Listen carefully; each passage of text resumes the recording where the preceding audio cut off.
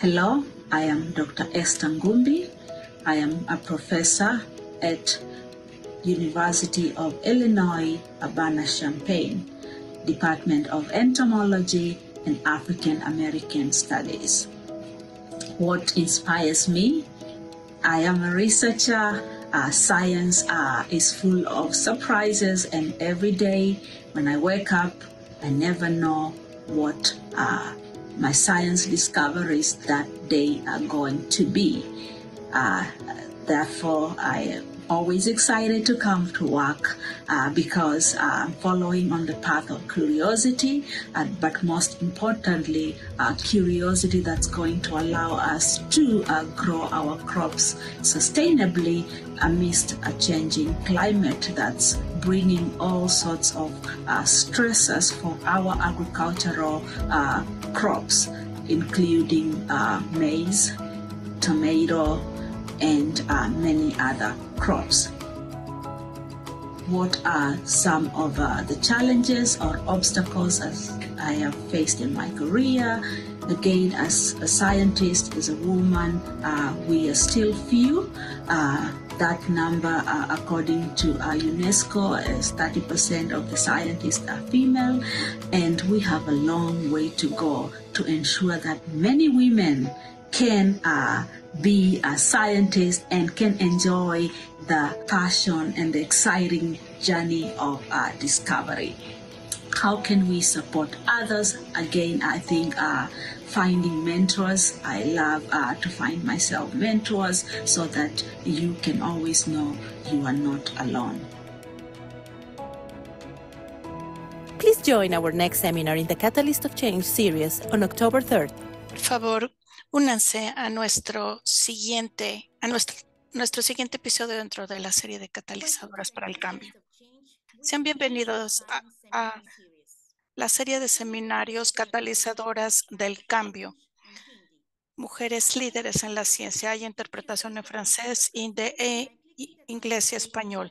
Sean tan amables de elegir el idioma de su preferencia en los iconos que están en la barra inferior de su pantalla. También pueden entrar en el hashtag de la serie de seminarios catalizadoras del cambio, mujeres líderes en la ciencia y también tendremos acceso a Slido para que puedan hacer sus preguntas, las cuales serán respondidas en la sesión de preguntas y respuestas. Vamos a escuchar el día de hoy Esther Nubia, profesora asistente y entomología sobre estudios afroamericanos de la Universidad de Illinois en Urbana-Champaign, una excelente científica y va a ser presentada por Olivia Rudillo justo después de su presentación. Olivia trabaja en el programa de iniciativa como investigadora asociada para el mejoramiento fitomejoramiento de CIMIT. Quiero darle la bienvenida a nuestro director general de CIMIT, al doctor Bram Grovers, para que abra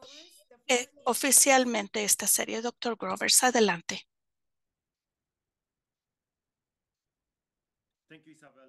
Muchísimas gracias, Isabel. Muy buenos días, muy buenas tardes, muy buenas noches a todos, dependiendo de dónde están. Es un verdadero placer ser anfitriones una vez más en esta serie de seminarios y en nuestro chat. Hoy tenemos una extraordinaria líder joven. Como saben, seguimos la filosofía de que no puedes conocer lo que no ves y por ello cada dos semanas estamos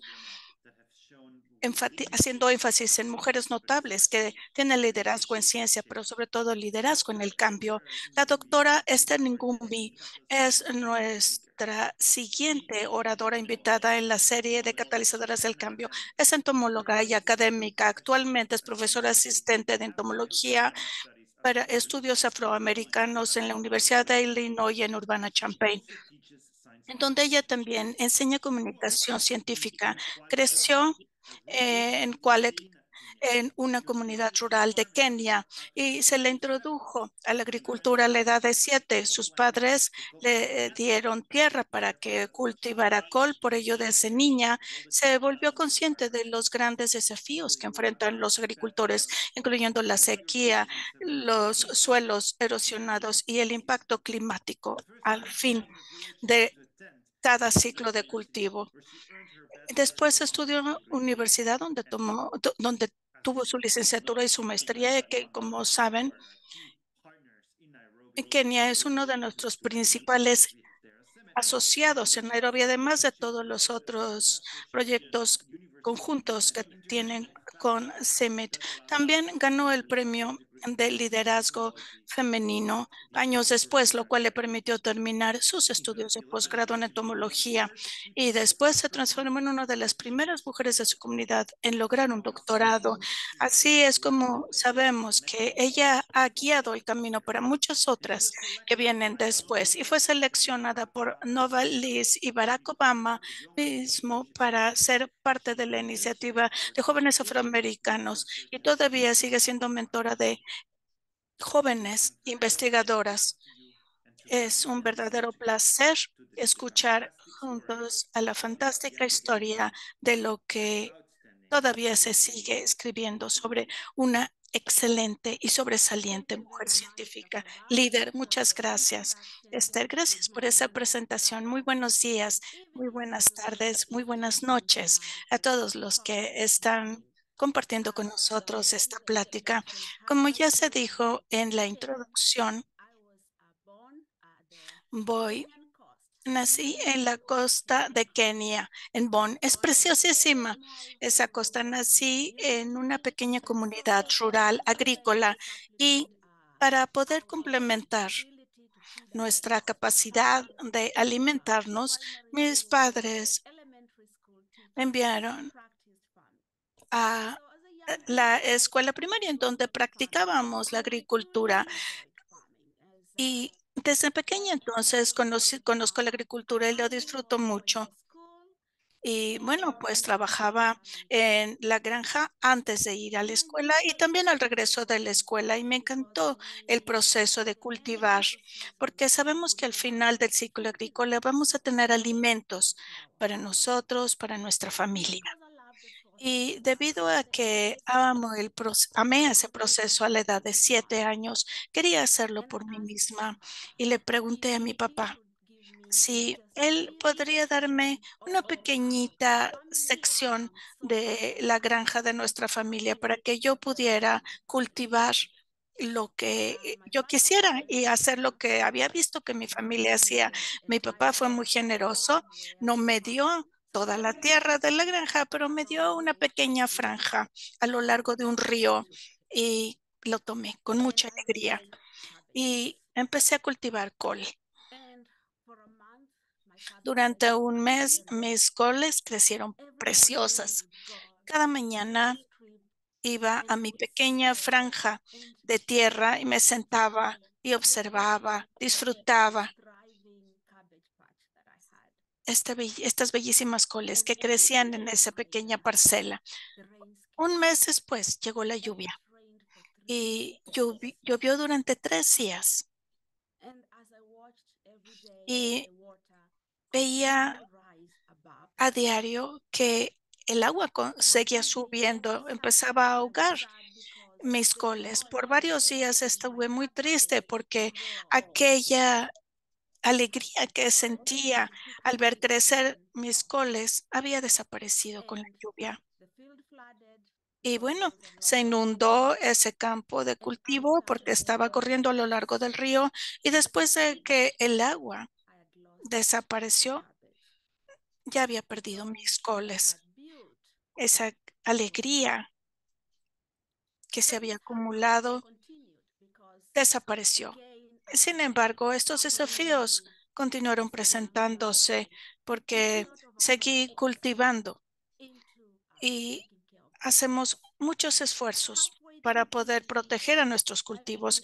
A mediados del ciclo agrícola veía muchas veces como todo ese trabajo arduo se desperdiciaba, porque llegaban los insectos, empezaban a masticar nuestro maíz, los granos del maíz. Y si no eran los insectos, eran la sequía, las inundaciones y todos los diferentes factores de estrés asociados con el cambio climático. Y yo veía cómo todo ese trabajo tan duro se desperdiciaba. Pero lo más importante es que si no teníamos cultivos, no tendríamos alimentos. Y me daba cuenta que no solo nos pasaba a nosotros, sino a nuestros vecinos, a nuestra comunidad también, a todo nuestro condado y también en todo Kenia.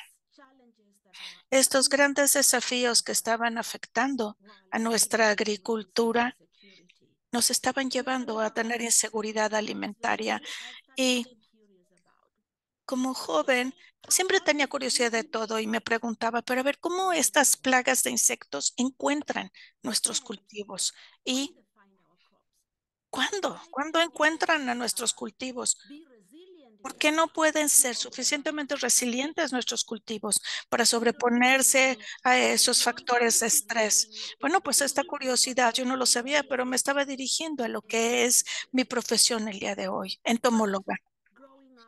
Pero cultivar en esa pequeña aldea rural no, teníamos modelos a seguir, no había científicos, no había entomólogos, gente a quien pudiera preguntarles o quien me pudiera inspirar para saber que sí se puede hacer una buena carrera como entomóloga y sí puede ser una mujer en la ciencia, especializada en la ciencia. Y bueno, pues yo pensaba que iba a ser contadora. Mis padres nos acompañaban los acompañábamos al banco para que retiraran el dinero y, antes de ir a la escuela, después ya nos íbamos a la escuela yo veía a esos contadores ahí en el banco, bien sentados, acomodados en el aire acondicionado, en sillones muy mullidos y decía, ay, qué precioso, yo quisiera ser contadora, pero poco tiempo después aprendí que lo que quería es ser científica y saber más sobre la agricultura. Así es que hice mi licenciatura en ciencias del suelo en la Universidad de Nathan. Y todavía recuerdo que cuando fui a mi primer laboratorio, entré a ese laboratorio y para mí fue un día súper emocionante. Tenía tantas preguntas que hacer y recuerdo que con el primer experimento me emocioné muchísimo. Tres minutos después de que había empezado, dije, caray, esta es la profesión de una científica. Ya no quiero salir jamás de un laboratorio. Quiero responder todas mis preguntas, todas esas preguntas con las que había crecido, con, en donde planteaba mis dudas sobre la naturaleza. Pero de cualquier forma se necesitaba seguir trabajando arduamente como científica y siempre preguntaba con humildad a todos los que estaban dispuestos a escucharme y ellos compartían sus enseñanzas conmigo. Sean mentores de otros, compartan lo que saben con otros, compartan su conocimiento. A lo largo de toda mi carrera han llegado grandes mentores.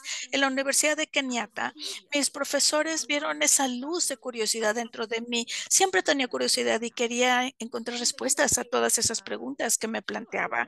Y ellos me decían siempre, sí, claro que sí, tenemos una oficina internacional sobre insectos y hay cursos y hay científicos que te puedan ayudar. Ahí estaba como a 15 minutos de Kenyatta y ya habían entablado cierta colaboración con, algunos de mis profesores. Así es como, así es que como estudiante de posgrado estaba terminando bioquímica, zoología y mis mentores, mis profesores me presentaron con científicos en ese centro que estaba muy cerca de nuestra universidad. Y sí, podía hacer ciencia, podía hacer experimentos que fueran más allá de lo que estábamos haciendo como parte de mi proceso de estudios de posgrado. Iba a ser una gran oportunidad para mí con los científicos que empezamos, con los que empecé a trabajar, estaban trabajando en un proyecto de control biológico. Estaban tratando de entender cómo el maíz se ve afectado por muchas plagas de lepidópteros. Y en este proyecto en especial era Plutela o palomilla dorso de diamante y un complejo de otras plagas que se alimentaban de los granos del maíz y nos estaban quitando la comida de la boca en nuestras aldeas.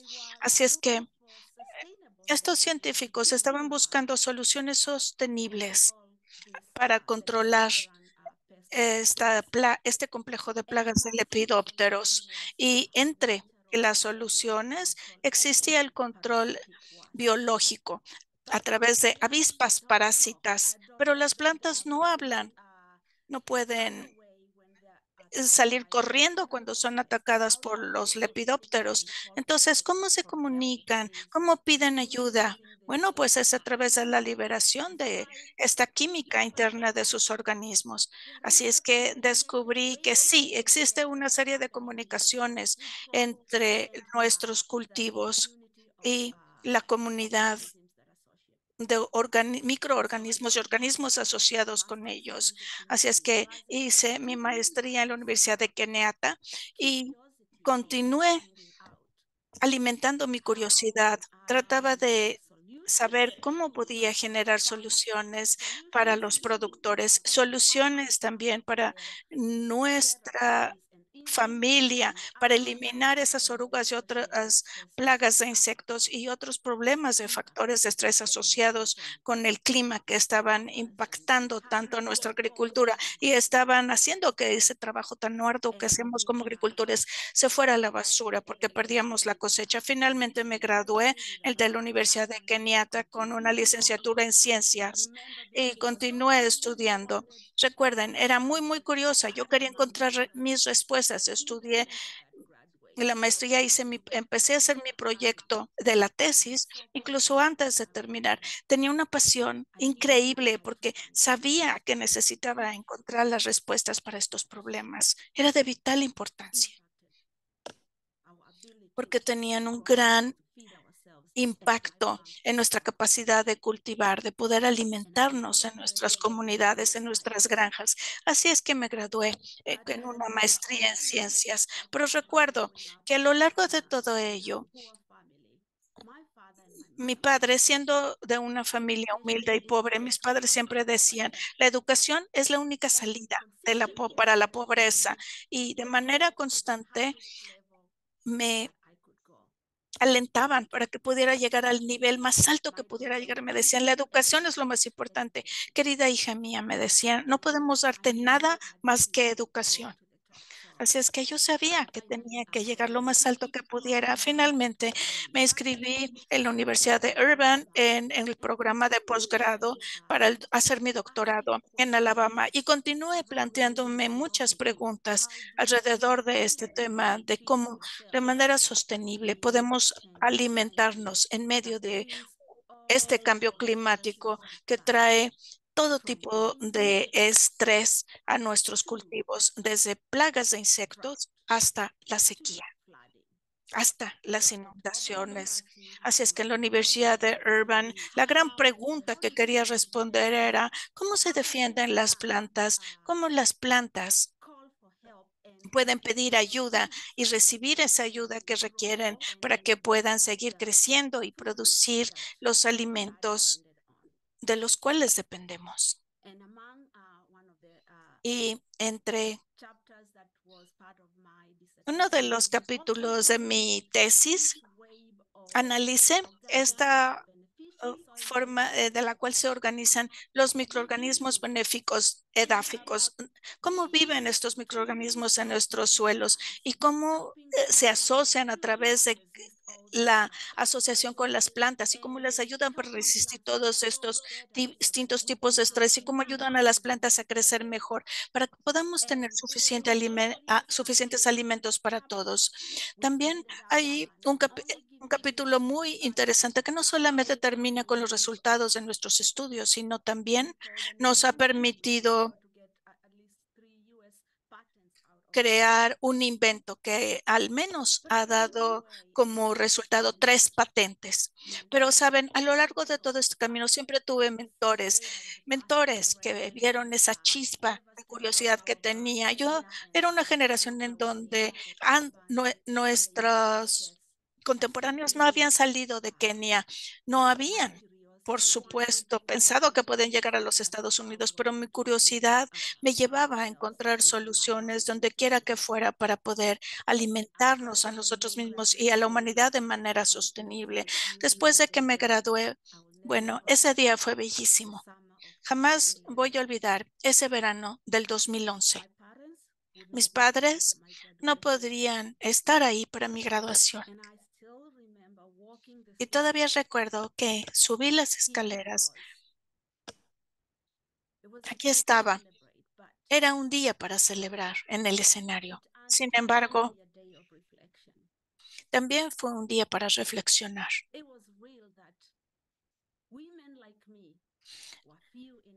Mujeres como yo en la ciencia éramos muy pocas. Esa fue mi primera reflexión.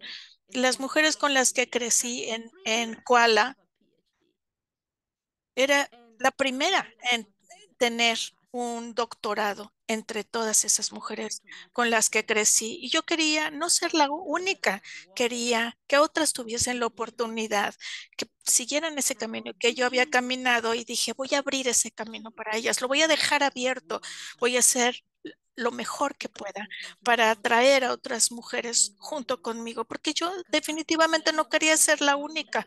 Al final me sentía sola. Sí, tenía a otros estudiantes a mi lado, otros compañeros, y estaba emocionada por ello, pero quería que aquellas personas con las que había crecido estuviesen a mi lado. Y dije, eso es lo que voy a hacer a partir de este momento. Voy a luchar para ser una buena mentora, para alentar a otras mujeres. Voy a dar el primer paso para alentar a otros niños, niñas de comunidades rurales, para decirles que lo pueden hacer, lo pueden lograr, pueden soñar, pueden seguir el camino que los apasiona, pueden ser científicos. Después de graduarme con ese doctorado, hice un par de postdoctorados. Estudié en Georgia Tech y después regresé a Auburn y hoy en día estoy en la Universidad de Illinois en Urbana-Champaign. Sin embargo, todavía sigo la lo que me indica la curiosidad, mi pasión.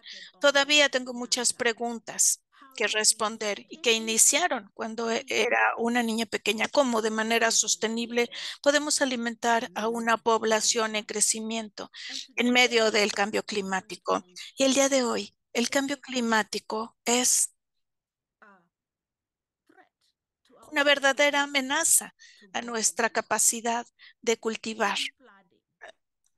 Desde las inundaciones hasta las sequías, hasta las plagas de insectos y todos estos factores de estrés que pueden suceder de manera individual, de manera secuencial o en combinación.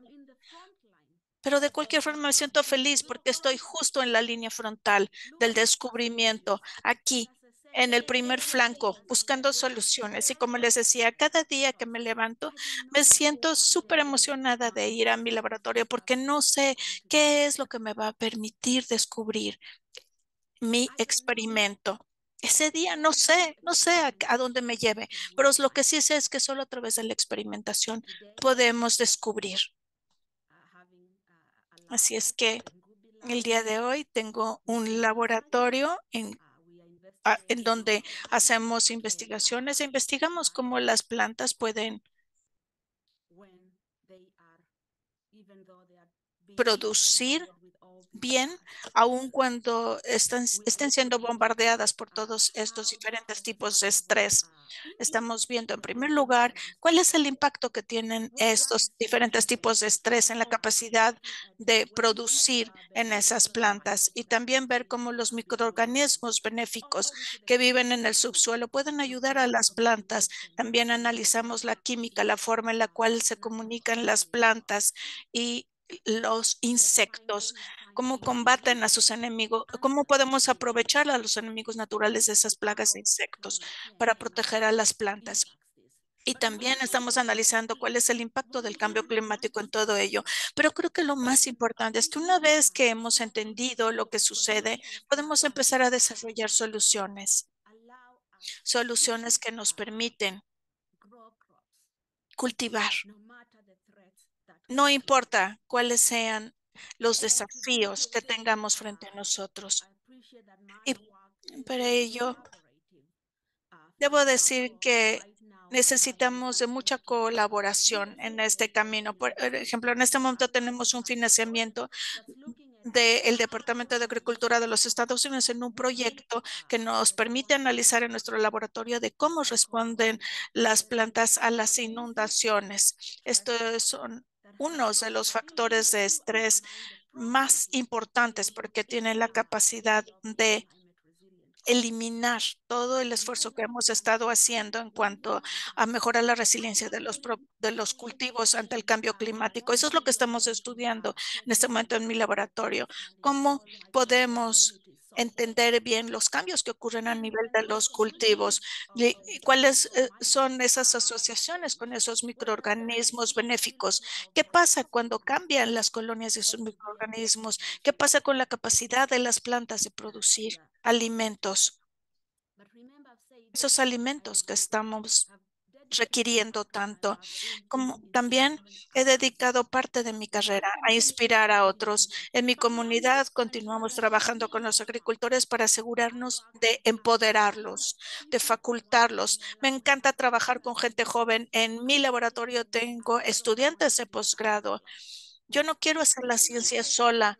Y quiero traer junto conmigo toda una generación de científicos, porque, porque la ciencia es un campo tan interesante. Yo sé que cuando diversificamos, ¿quién podremos decir quién está haciendo la ciencia? Bueno, pues entre todos lo estamos haciendo y por ello nuestras soluciones están comprometidas con esa diversidad, trabajar de manera colaborativa con otros, acompañar a nuestros agricultores para aquellos agricultores que trabajan tan arduamente, sobre todo los pequeños agricultores, para que puedan seguir cultivando alimentos, para que puedan ver que todo ese trabajo arduo vale la pena. Porque sé, porque lo viví mientras crecía, que esos pequeños agricultores no tienen ninguna otra forma de complementar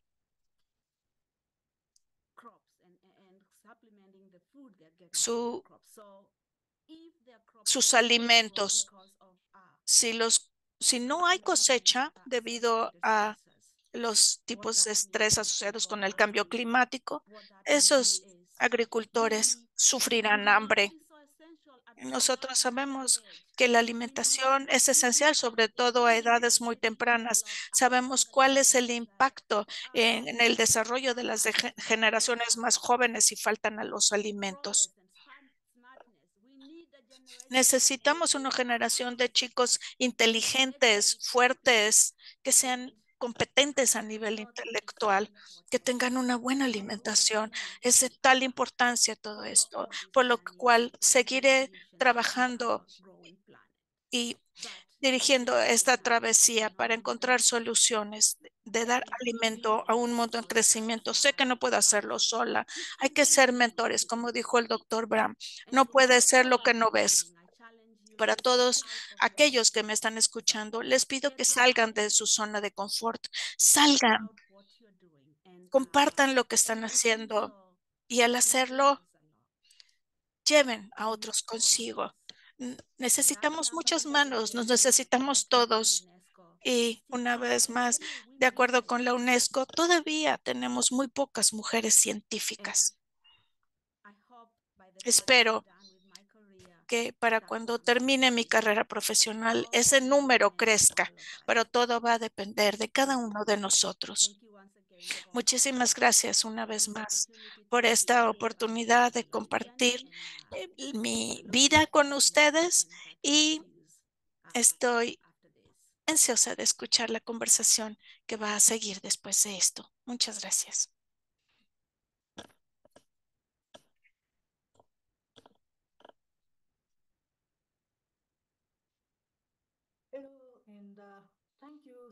Hola y muchísimas gracias, doctora Esther. Muy buenos días, muy buenas tardes, muy buenas noches a todos.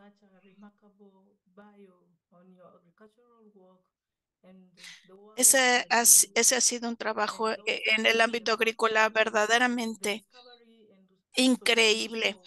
No solo para ti, sino para todos los que te han acompañado en la búsqueda de soluciones a los problemas que estamos enfrentando a la agricultura. Estoy aquí también para respaldarte y asegurarte que el trabajo que estás haciendo en esa línea del frente no es en vano. Yo, yo sé que el trabajar en el análisis de todos estos diferentes tipos de estrés y la búsqueda de soluciones es uno de los mejores caminos que se pueden seguir. Incluso tienen un impacto tremendo en la forma de vida y los medios de subsistencia de los agricultores. Así es que vamos a seguir trabajando juntos. Yo sé que poco a poco vamos a llegar a cumplir con nuestros objetivos. Soy Olivia y también soy miembro del grupo de mujeres científicas, líderes en la ciencia de CIMIT.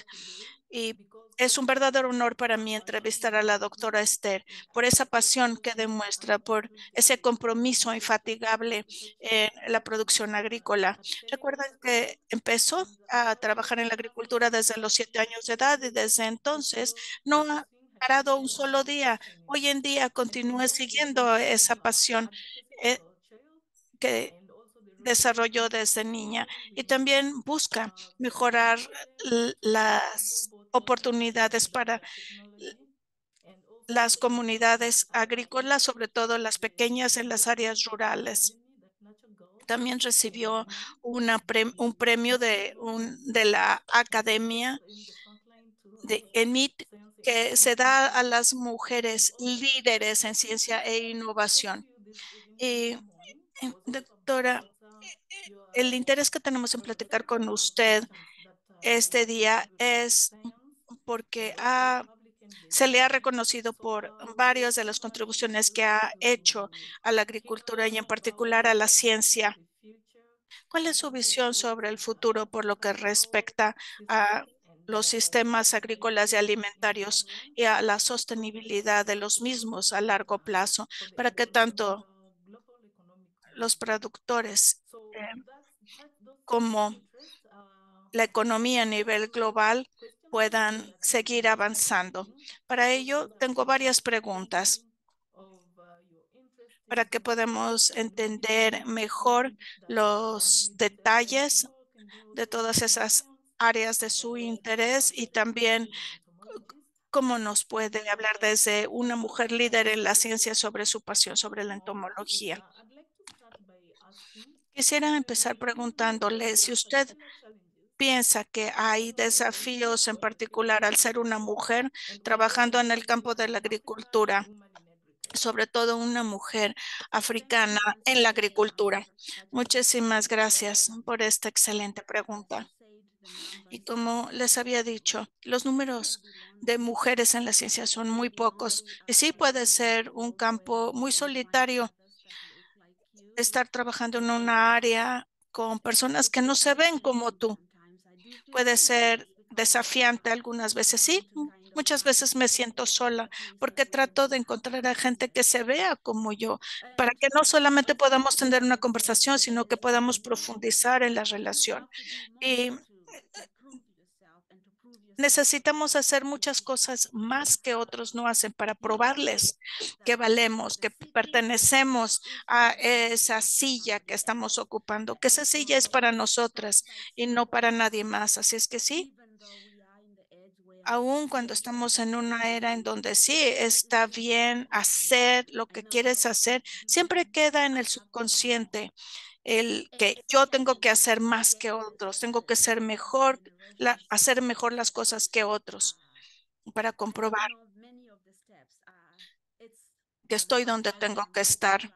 Y, y por otro lado, cuando, por ejemplo, hago propuestas para proyectos o estoy escribiendo para las publicaciones, en cada paso que, que doy, siempre estoy pensando eh, que trato de hacer lo mejor posible, pero no estoy muy segura de si va a funcionar o no. Esa incertidumbre que hay detrás del de trabajo. Son desafíos diarios, son retos diarios, pero saben, yo de hecho soy una persona bastante optimista. Yo siempre me digo, a ver, los retos te van a hacer ser un ser mejor, hacer mejor lo que estás haciendo. Así es que toma esos retos y transfórmalos en oportunidades. Por ejemplo, si otorgo una, sí, perdón, si estoy escribiendo un proyecto para recibir financiamiento y no me lo aceptan, digo, bueno, ok, entonces, ¿cómo hago mejor este trabajo? Voy con mis mentores y les digo, mira, hice esta propuesta, esta es la redacción, estos son los comentarios que recibí. ¿Cómo puedo mejorar esta propuesta?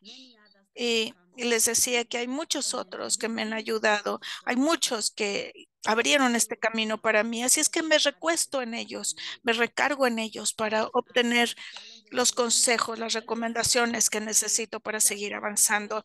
Y como decía también, aun cuando ha sido difícil encontrar soluciones porque mientras encontramos nuevas soluciones también el cambio climático se va haciendo cada vez más drástico y nuevamente seguimos encontrando, encontrando nuevos insectos, por ejemplo, muchos nuevos nemátodos, pero sí, esos retos son oportunidades, oportunidades para que yo dé más de mí misma, que crezca y sobre todo lo más importante es que me dan oportunidad de crecer y de ser suficientemente humilde. ¿Qué podrías decir que es un icono? Eh, eh, podrías decir que, ¿qué es lo que significa ser una mujer afroamericana en el mundo de la agricultura? ¿Lo puedes decir en una sola oración? Yo creo que no tengo una sola palabra, una sola oración, pero para mí todas las mujeres en la ciencia son mis íconos a seguir. Yo sé qué es lo que se requiere para estar ahí, sé toda esa travesía por la cual están atravesando. Así es que tiendo a ver a cada científico como, y científica como íconos para mí. Y yo no tengo una sola palabra para escribirlo. Si te pudiera decir cuántos, cuántos científicos he conocido, cuántos están ahí esforzándose. Ok, pero yo creo que ya no, va, ya no vas a estar solo en el futuro porque hay más mujeres estudiando el campo de la agricultura. En el futuro así será. ¿Qué tipo de apoyo cultivas para ti misma para mantener tu energía interna y tu confianza como líder? ¿Tienes algo que hagas, alguna red que te dé apoyo? ¿O cuáles son tus fuentes de inspiración? Una vez más, el apoyo viene de mis mentores, como les decía. En todo este viaje, mi red de apoyo han sido los mentores. Y de manera activa busco a los mentores porque pues eh, el ser eh, pionera en algunos de estos campos, no conozco exactamente en dónde me estoy adentrando, así es que busco a aquellos que ya saben este camino, que ya lo conocen porque ya lo recorrieron desde profesores en, eh, de, la, de, la, industria alimentaria hasta em, mis estudiantes de posgrado y estudiantes más jóvenes. Trato de generar un sistema de soporte, de apoyo para que sea muy dinámico y que nos pueda ayudar a todos dentro de esta cadena. Pero pues sí, también debo decir que, por ejemplo,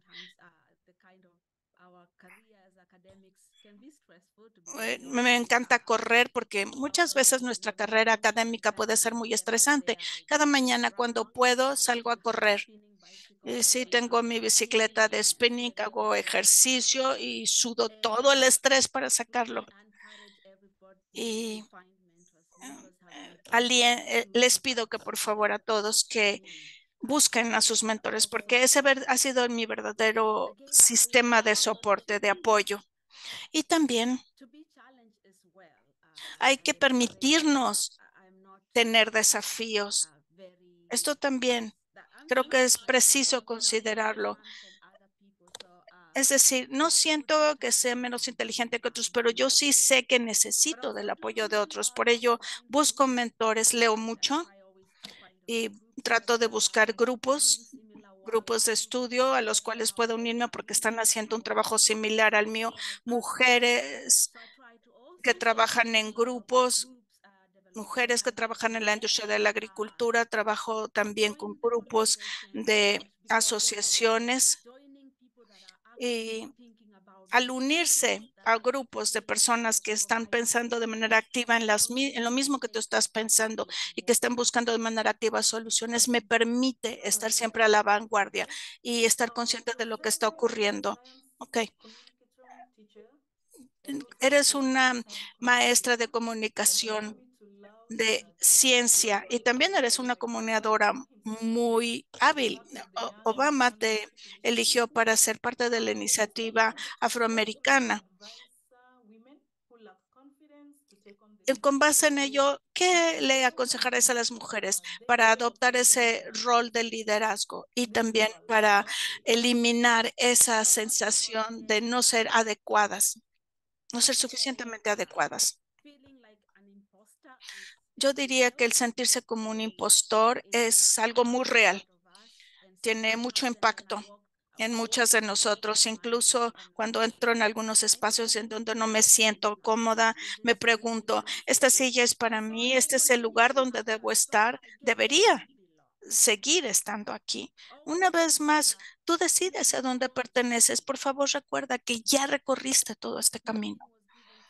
Nada te fue regalado, nadie te lo, nadie te dio nada en una charola de plata. Ya atravesaste por todos esos desafíos que te llevaron a estar en el lugar que tienes en la ciencia, en el mundo de la ciencia. Cuando estás ahí sentada a la mesa comiendo con los, con los demás, por supuesto que esa silla te pertenece, por supuesto que es el lugar en donde debes estar.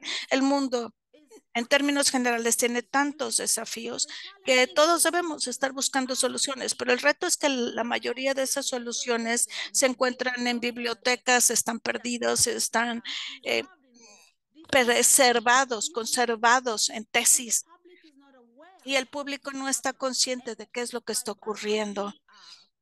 Así es que al participar activamente la comunicación de la ciencia. Nosotros, los científicos, que estamos, los que estamos en la línea del, del frente, cuando damos ese paso extra y enfrentamos ese desafío extra para compartir lo que hemos descubierto, estamos haciendo gran bien, porque en primer lugar el público se da cuenta de lo que está ocurriendo. Número dos, estamos siendo facilitadores de la traducción de toda esa investigación que hemos hecho en resultados, en productos que los agricultores pueden utilizar. Por ejemplo, cuando tenemos, salieron estas tres patentes de la investigación que hicimos sobre los microorganismos benéficos, ya tenemos a compañías que están desarrollando productos con base en esos resultados de la investigación. Pero si te mantienes conservando eso, todo ese conocimiento en tesis, pues nadie va a poder aprovecharlos. Hay que transformar toda esta información en soluciones para los productores. La gente que trabaja en la comunicación de la ciencia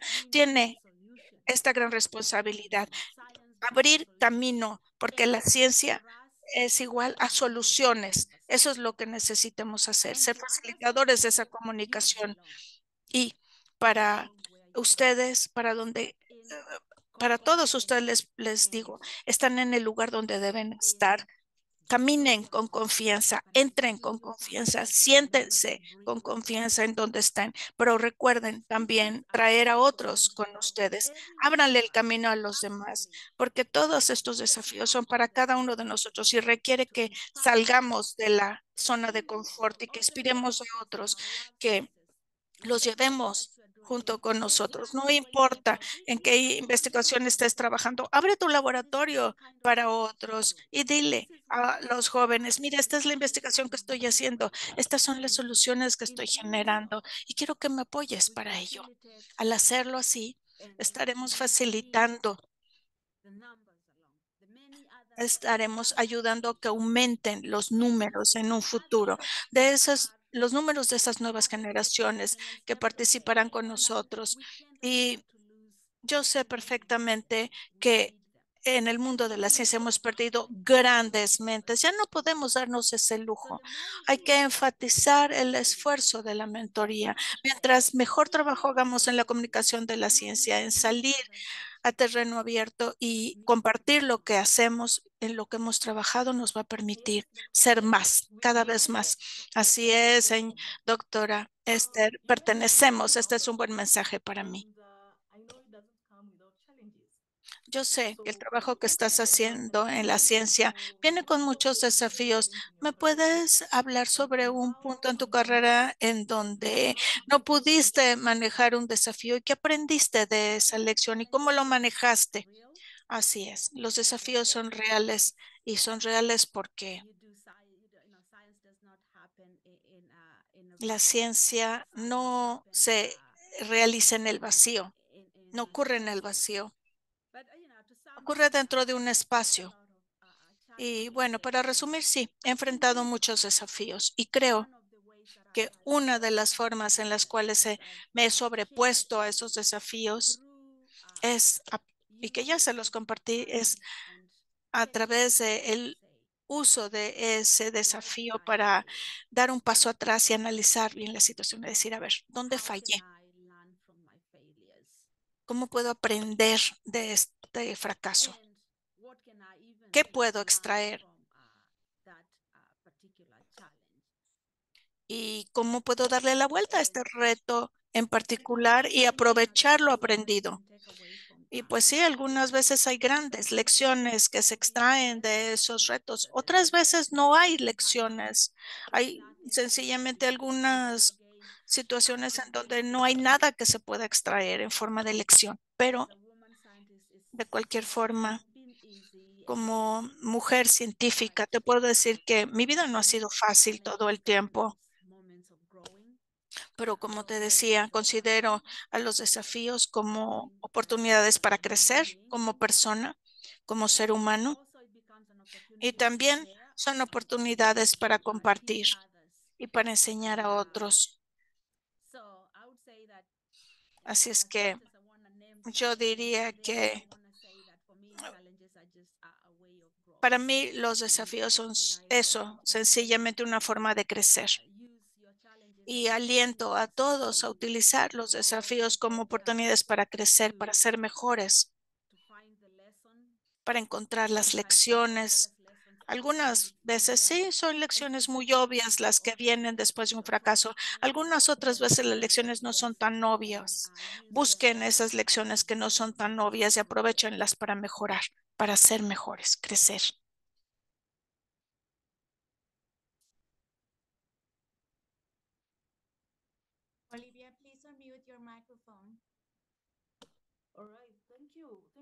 Muy, muy bien, muchísimas gracias por todas esas perspectivas. Vamos a resumir. ¿Qué le pedirías a Simit? Que, ¿O cómo los recomendaría? ¿Qué recomendarías para que ayude a las mujeres líderes? Eh, a través de la mentoría, que abra los espacios para que las, las mujeres puedan entrar en esos espacios y, y sentir esa curiosidad. Como mujer científica hay que alimentar esa curiosidad. Permítanles que experimenten lo que es el mundo de la ciencia y faciliten, que faciliten su crecimiento, aun cuando fracasen. Permítanles aprender de esas lecciones. Cuando estabas haciendo esa pregunta, yo me acuerdo muy bien cuando estábamos haciendo una propuesta sobre una pregunta que queríamos resolver, hicimos el experimento, todas las hipótesis fueron en vano, no nos llevaron a nada. Yo me acuerdo muy bien que recurrí a mi mentor, eh, eh, el doctor Toto, después de que dejé y si sigue siendo mi mentor, ah, fue hace 20 años. Y yo pensé que ese era el final de mi carrera científica porque no había encontrado ninguna respuesta a esas preguntas que nos habíamos planteado al inicio del proyecto. El doctor me vio y me dijo, a lo mejor no tienes respuestas, pero las respuestas que has extraído porque los resultados de tu experimento fueron negativos, nos van a dar muchísimo material para trabajar. No, no lo consideres un fracaso. Así es como sucede la ciencia. Y recuerdo muy bien esas palabras, las llevo conmigo. Cada vez que hago un experimento y las cosas no salen como yo quisiera, recuerdo lo que dijo el doctor Toto. Analiza bien ese experimento. Dime, ¿qué otro mensaje puedes extraer de él? ¿Qué otra lección? Así es que eso le pediría a Simit, que le permita a las mujeres que entren, que lleguen a esos espacios de ciencia, que hagan sus experimentos y aunque fracasen, que crezcan. Denles mentores para que se puedan apoyar en ellos. Abran oportunidades profesionales para que las mujeres crezcan.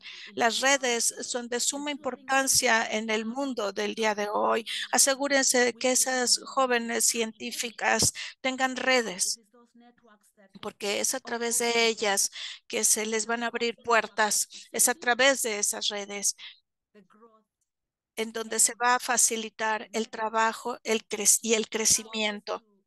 Las redes son las que nos permiten facultarlas. Estos son los verdaderos catalizadores del cambio, así como se llama esta serie de seminarios. Permiten que esas redes faciliten el ingreso de muchos más y que faciliten también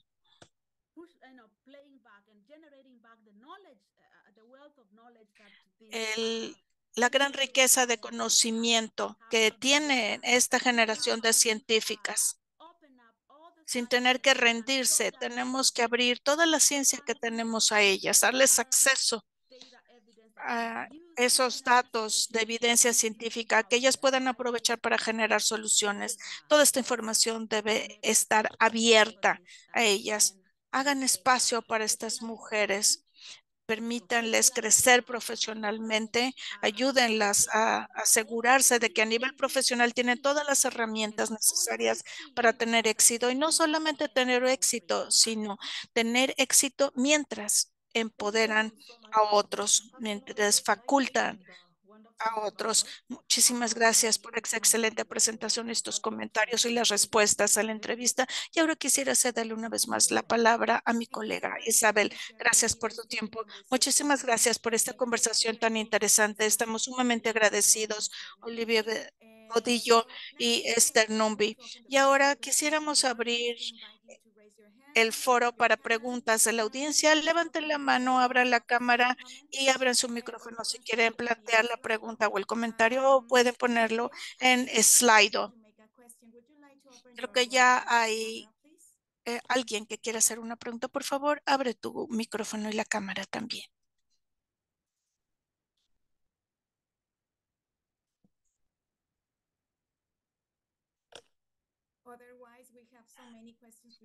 De otra manera, tenemos muchísimas otras preguntas que ya se recibieron en el slide. Mientras Irene se prepara, voy a leer algunas de esas preguntas. Esther, la mentoría ha sido tan crítica, tan esencial para ti y tú.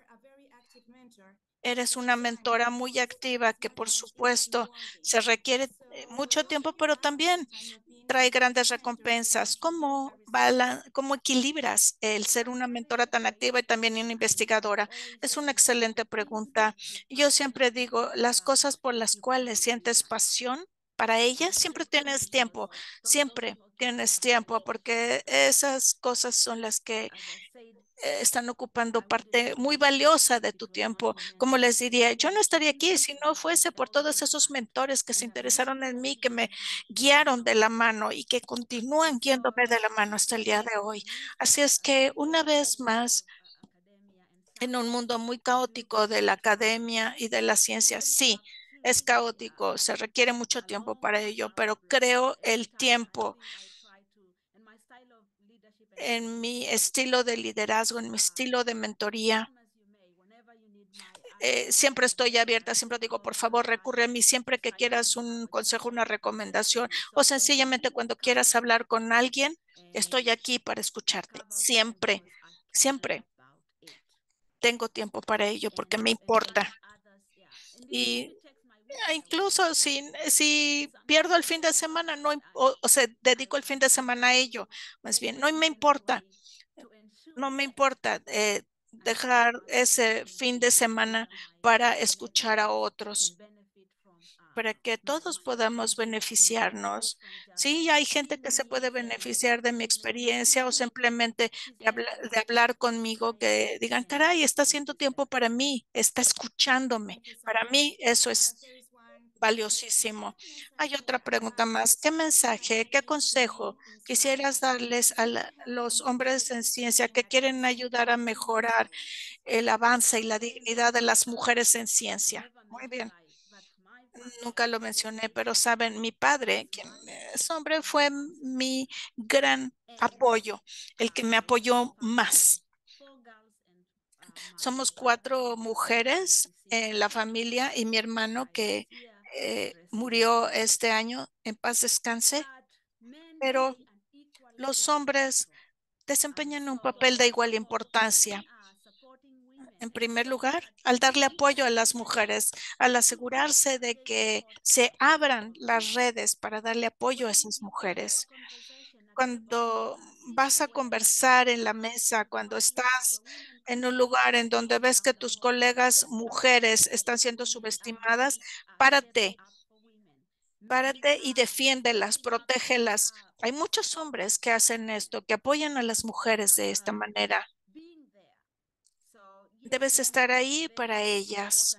Sí, los hombres tienen un papel de suma importancia, esencial, porque cuando las mujeres tienen éxito, los hombres también lo tienen. Y si entras en una sala en donde ni siquiera hay la presencia de mujeres, habla por ellas y diles, en la siguiente sesión quiero que haya mujeres, rehúsate a participar en una conversación en donde no haya mujeres participando. Creo que sí, todos debemos alzar la voz y que sea con plena confianza. Asegúrate de no participar en aquello, en aquellas cosas en donde no hay mujeres participando. Aunque somos muy pocas, todavía hay que encontrarlas. Ahí están. Hagan un esfuerzo por encontrarlas. Muchas gracias, Irene. ¿Quieres abrir tu micrófono? Hacer la pregunta, por favor. Sí. Aquí estoy. Espero que me escuchen bien. Muy buenos días. Esther, gracias por esa plática tan inspiradora. And how you're impacting Que nos habla sobre tu línea de trabajo y el impacto que, se, que has tenido. Tengo una pregunta. Sabemos que la agricultura y la tecnología buscan la resolución de problemas planteados por el cambio climático. ¿Cuál sería tu recomendación? ¿Cómo alentarías el uso de la tecnología en esta era de comunicaciones, especialmente para las mujeres? y para apoyar el trabajo que tú has estado haciendo y en donde hay muchas otras jóvenes participando. Muchas gracias por esta pregunta sorprendente. Sí, la tecnología está en la base de todo. La, la tecnología está amplificando el conocimiento, está asegurándose de que la gente tenga acceso a ese conocimiento a nivel de su celular para que al menos puedan tener acceso a esa información que va a ser de tan vital importancia para ellos. Sí, siento que a través de esta tecnología la información se filtre, llegue a los niveles que necesita llegar para poder empoderar a las personas que se están sosteniendo esos celulares en la mano y que están buscando respuestas, que los celulares sean los catalizadores del cambio también, que tengan la capa- para que todos tengamos la capacidad de unir esfuerzos para enfrentar el cambio climático. Gracias a la tecnología es posible saber qué tipo de especies de insectos están atacando nuestros cultivos alimentarios y así poder dirigir de manera objetiva nuestras intervenciones en ese cultivo para resolver los retos más inmediatos. Sí, y también estamos en la era de la inteligencia artificial. ¿Cómo podemos aprovechar esa tecnología? Estoy segura de que podemos encontrar muchos medios para utilizar esa tecnología y facultar a los pequeños productores con soluciones para que cultiven de manera sostenible, usar la tecnología para entender cómo va a ser ese siguiente ciclo agrícola, incluso antes de sembrar el nuevo cultivo. Sin conocimiento, ¿qué haces? ¿Qué, qué tipo de planes tienes? ¿Cuál va a ser eh, la estrategia para el siguiente cultivo que vamos a sembrar? ¿Cuál va a, a ser el cultivo con el cual rotemos? ¿Vamos a intercalar los cultivos o no? Va a haber sequía, va a haber lluvia. En fin, la tecnología es parte vital para lo que hacemos y también hay que facilitar talleres, talleres en los cuales podemos asegurarnos de que la gente que tiene, que tiene acceso a la tecnología la aprovecha al máximo, de la mejor forma posible para obtener las respuestas. A mí me fascina la tecnología, sé que es un catalizador del cambio, sé que es un catalizador que puede acelerar en gran medida la obtención de soluciones las mejores soluciones basadas en ciencia para entregarle los resultados a los productores y que ellos puedan aprovecharlo para hacer ese cambio tan importante que se requiere a nivel de, peque de pequeños productores.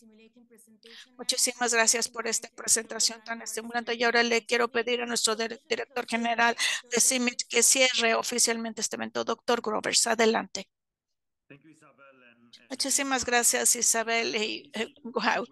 Si estas dos mujeres no nos han recordado el por qué hacemos lo que estamos haciendo, realmente eh, si esto no impacta a todas las partes interesadas en sí no sé qué otro testimonio lo podría ser. Jamás olvidemos para quienes trabajamos, Esther. Muchas gracias por hacernos el honor de estar con nosotros. Muchas gracias a todos los participantes. Y tuvimos una asamblea general hace dos semanas y la secretaria dijo que eh, es la seguridad alimentaria es parte de la seguridad nacional. Y gracias a ti y a otros científicos y científicos como tú, Esther, estás ayudando a asegurar los alimentos para el mundo. ojalá que todos tuviéramos esa pasión que tienes para transformarnos en verdaderos líderes científicos. Y claro que sí, tú perteneces, todos pertenecemos a donde estamos.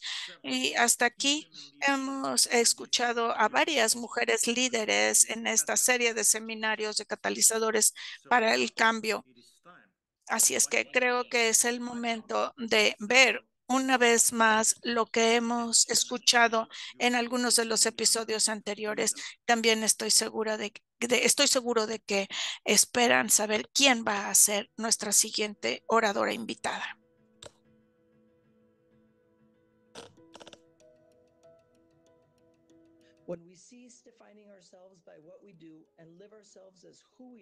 Because when we are true and upstanding to ourselves, others believe, care, and ultimately will follow. There needs to be two things that every leader in different sectors should have. The first thing is representation. So, a leader should represent your values, your principles, and your goals. And it should be an aspirational thing to think about your leader. And the second thing that every leader should have is administration capabilities. This means to be able to solve problems, to be able to learn on the spot, and to be able to work as a team and be disruptive without being destructive. We are looking forward to a time when there is no more hunger, when there is enough food, the right food grown in the right areas, and the food can be available for everyone. A woman could be a leader without being a man. It could be a woman could be a leader in her own style. And that style might give much better results because it's based on being compassionate, it's based on empathy, and it's based on bringing the best in every single person. So we can change, but we have to be open to change and we have to be supportive of many others to help promote and actually institute change. Women are natural agents of change and all they need is a conducive environment. As women, we should be spending more time with other women, making sure we share our stories, our successes, and our struggles. The whole idea is to convince each other it can be done and that we are the best agents of change.